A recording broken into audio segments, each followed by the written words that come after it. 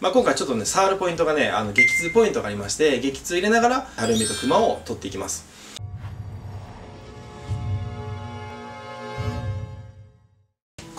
です。はい、今回の動画は、整形級、激痛で目の下のたるみクマを消し去る方法をあなたにお伝えしていきます。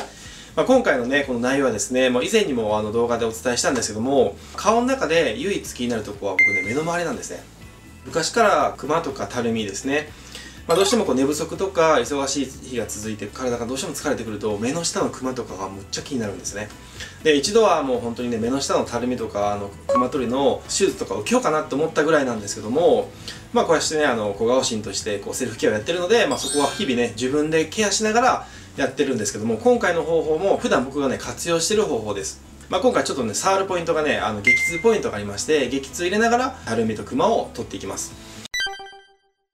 調子悪い時なんかは自分でもねコンシーラーで隠すこともあったんですけども最近はね持っててもほぼ使ってないですね。それぐらいこのセルフケアですごく解消できてますので、まあ、気になっている方はね是非お試しください。ではね早速一緒にやっていきましょう。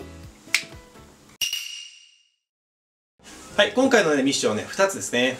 まずもう目の周りやっていくんですけどもこれ片方ずつやっていきますねでまずちょっと自分のね目をチェックしてもらって気になるなっていう方をやってもらったらいいんですけども僕は右からいきますね。まずはですね目の周りの疲れを取るのでミッション1は眼輪筋ですね。眼輪筋のマッサージをしていきます。でやり方はこれねおなじみのピースを使って中指を目頭。で人差し指を目尻の方に当てて当てたら少し横にぐーっと開く感じで固定します。そしてそのまま左右に軽く揺らしながらマッサージしていくんですね。眼輪筋はですね普段目を閉じるっていうことに使う筋肉なんですけども、まあ、スマホパソコンとかゲームとかですね電子機器を使ってる間ってまばたきの回数がね結構減ってるって言われてるんですね。なのでまばたきがしないってことは目を開け閉めのこの閉めるっていうことをしないので筋肉がどうしてもサボって凝り固まってきてそれがまあ血行不良で青クマとかをね作ってくる原因になってきます。でそこでむくみがたまることでどんどんどんどん下がってきて重みでたるんでくるわけですね。では早速やっていきます。じゃあまずピースを作って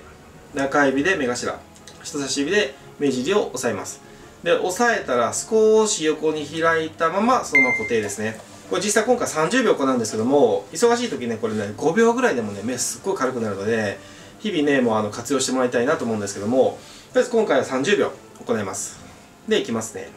で用意スタート。軽くですね横に揺らしていきます。もうねそんな欲張らずにもう少しね左右に動かすだけで十分ね筋肉動いてくれますんで薄い筋肉なのでそんなゴリゴリとかねやる必要絶対ないですからね。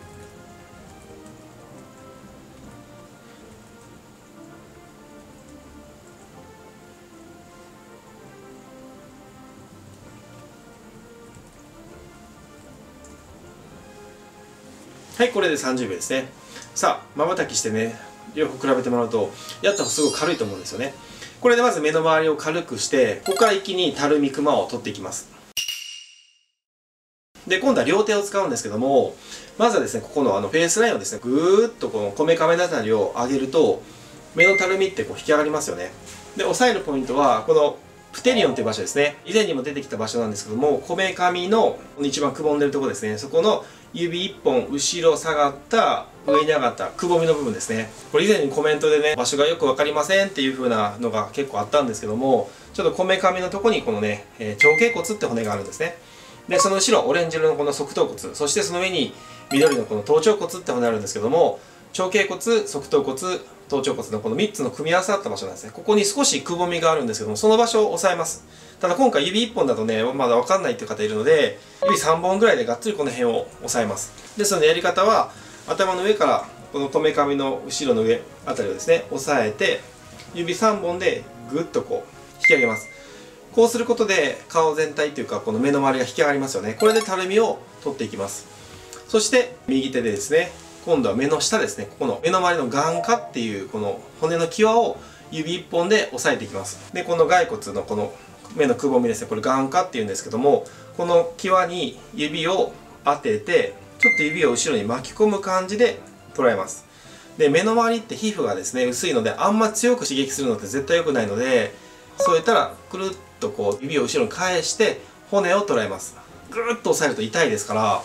でここねあの激痛ポイントですね。でこの激痛ポイントを軽く押さえて、まあ、多少は痛いんですけどもそのまま固定します。じゃあ合わせていきますね。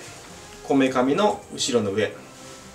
このプテリオンを3本指で押さえて上にぐーっと引きます。そして人差し指で眼下の部分ですね。そこに指を軽く乗せて骨を捉えます。でここから眼輪筋をね使っていくんですね。眼輪筋っていうのは目を閉じる筋肉ですから手で押さえずにですね目を閉じるとほっぺのお肉も上がってしまうので眼輪筋だけを鍛えることができませんので眼輪筋だけを鍛えるためにほっぺのお肉が上がらないように押さえて眼輪筋だけをしっかりと動かしていきます。で特にですね下まぶたの方をしっかりと目を閉じるように意識してやってもらうとこの下のねたるみが解消されていきます。でやっていきます。で用意スタート。プテリオンをですねしっかり押し上げておくことで張りを作ってで目の下をですね固定して目を開け閉めすることで眼輪筋のね筋トレをしていきます。開けて閉める。開けて閉める。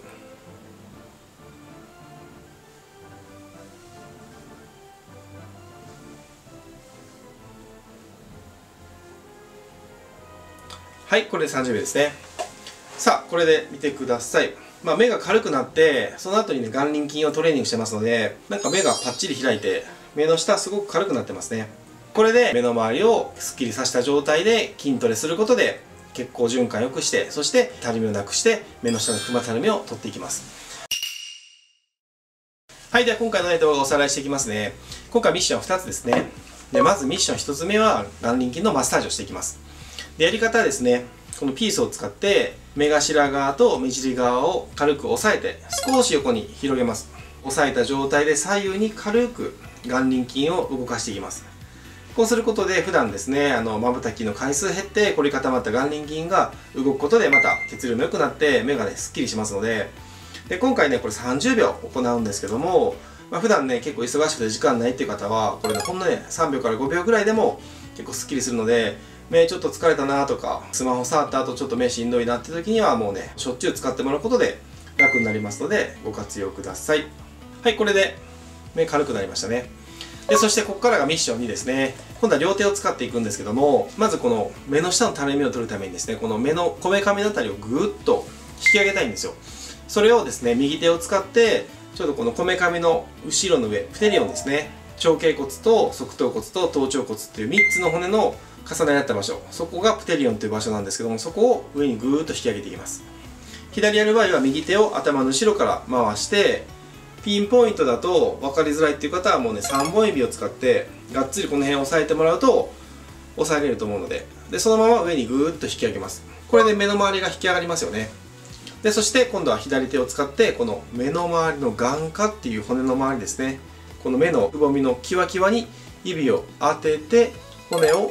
固定します。眼球に当たらないようにあんまり中に入りすぎないように本当ねギリギリの際を狙ってほしいんですけどもそこに当てることで骨を取られるとですねここ結構激痛ポイントなんで痛いのでもし痛すぎたらあの少し力抜いてください。目の周りの皮膚っていうのがですねすごく薄いのであんまり強い刺激っていうのは絶対良くないですから軽く骨を捉えてください。このままですね目の開け閉め眼輪筋のトレーニングをしていきます。もう普通にプテリオンを上に引き上げた状態で目のたるみを取って目の下の眼下を押さえて負荷をかけながら目の開け閉めをしていきます。ではちょっと実際やっていきましょう。目の開け閉めですけど特に上よりもですね下ですね。下まぶたをぐっと引き上げる方を意識してやってみてください。さあこれで両方とも終わったんですけども今日ね講習してて結構目の周り疲れてたんですけどもこれすることでやっぱりすっきりしましたね。これは本当にね僕も普段から悩んでて手術も考えたぐらい気にしてたんですけども毎日ねこのケアすることで目のたるみとかクマがですね本当に解消されます。目の疲れた時とか寝不足続いたりとか体調悪い時っていうのはやっぱ出やすいので調子悪い時にやるんじゃなくて調子悪くならないために日々のねセルフケアっていうのをお試しください。で今回の動画を見てねいいなと思った方は高評価そしてチャンネル登録コメントの方もよろしくお願いしますではまた次回の動画でお会いしましょう。小川しんでした。